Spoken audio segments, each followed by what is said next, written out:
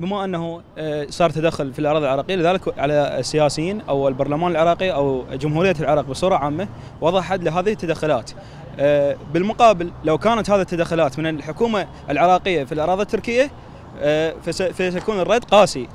أما بالعراق فتكون السيادة ليس لها نظير. وهذا كله يأثر على سيادة البلد والمفروض الحكومة مالتنا ترد عليهم رد قوي لأن البلد إلى حرمته وهاي نقول لهم أطماع بأراضينا.